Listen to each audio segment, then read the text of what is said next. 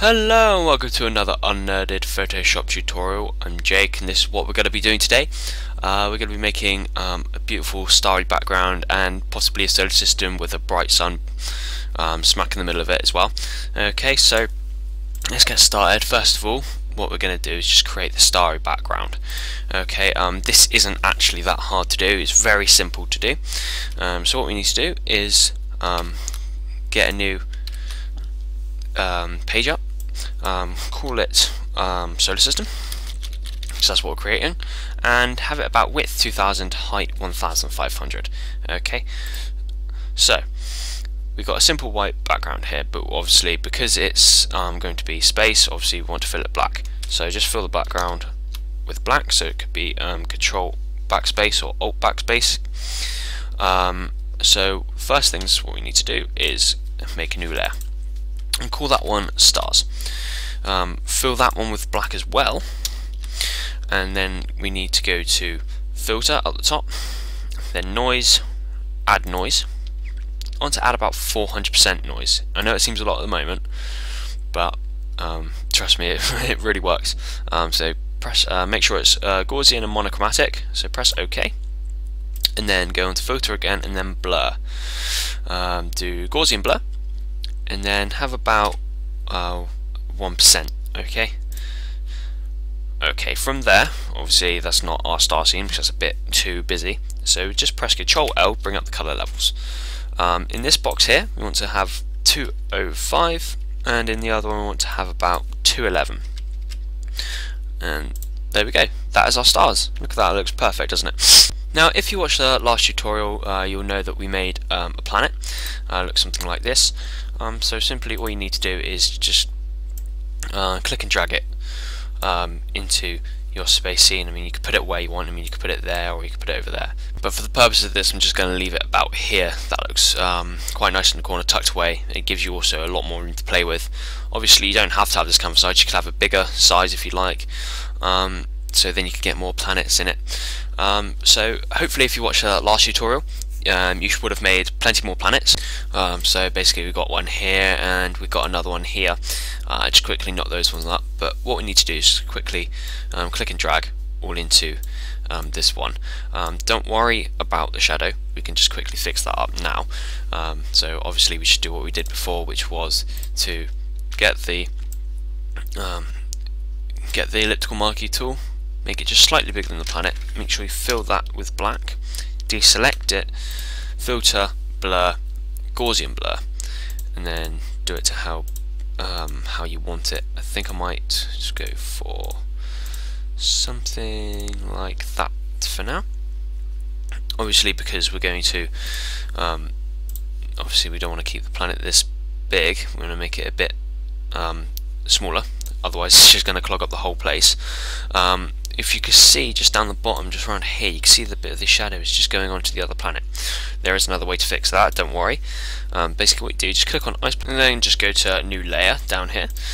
Okay, then you just need to um, press shift, click um, the ice planet there, and press control E just to merge those two together. Okay. Now what you need to do is um, load up the um, planet selection. So just press Control and click on the thumbnail of the planet. So you can see it loads up its selection there. Click on the layer above, which should be the shadow, and then just press Control E just to merge them. Okay, as you can see, it's just um, merged together there, and you can just see it in there. Then what you need to do is press Control J, and as you can see, you can't you can't actually see any. Uh, you can delete this layer now once you delete it, you can see there's no shadow going outside of the planet there. Okay, so that's basically how you um, create the shadow without it spinning over the edge of the planet, basically. Um, obviously, I've put this um, at this angle because it's just going to be the moon for this planet, so I'm just going to shrink it down by about that much. So um, it's still roughly in the um, same place as the sun where it would be. Um, also, just for added real effects, what you could do is you could um, get a small elliptical marquee tool, um, go on the planet layer, just create a little circle, um, and then just delete it. So you've got a black thing there, and that will look like um, an eclipse basically so the moon's casting a shadow on the planet uh, you could do that if you want to um, I'd rather not do that at the moment um, so basically what you need to do now is get your other planet which should be at the top here. Um, once again we don't want to worry about um, the shadow.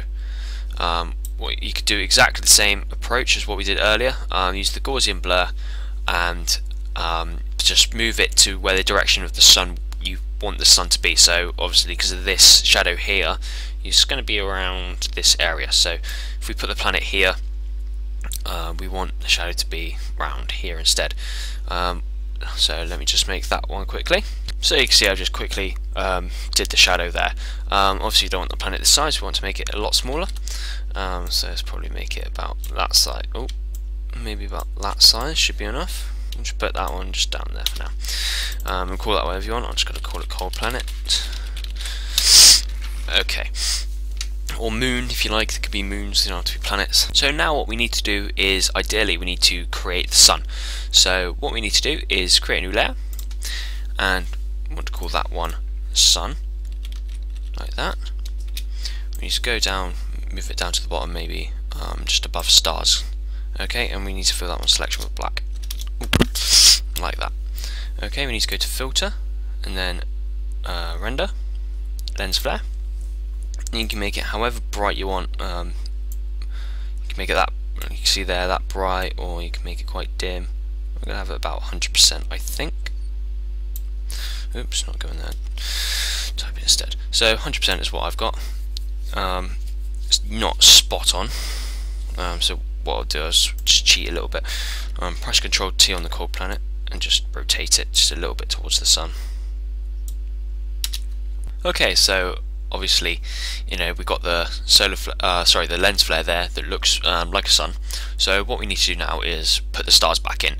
Um, that's very easy. What we need to do is just go to um, make sure you selected sun go to the blend mode up here and make sure it's on screen. And there you go.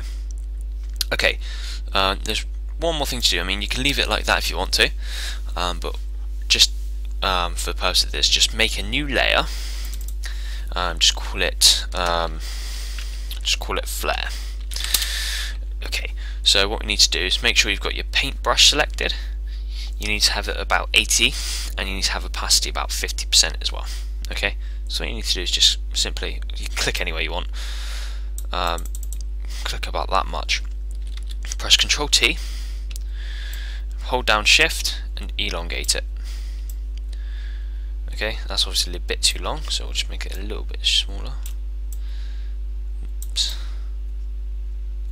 Make sure it's on it. And there you go. A realistic looking sun and realistic looking solar system there. So hopefully you'll be able to make plenty more in the future to come. Um, stay tuned for our next YouTube video and I'll see you soon. See you later.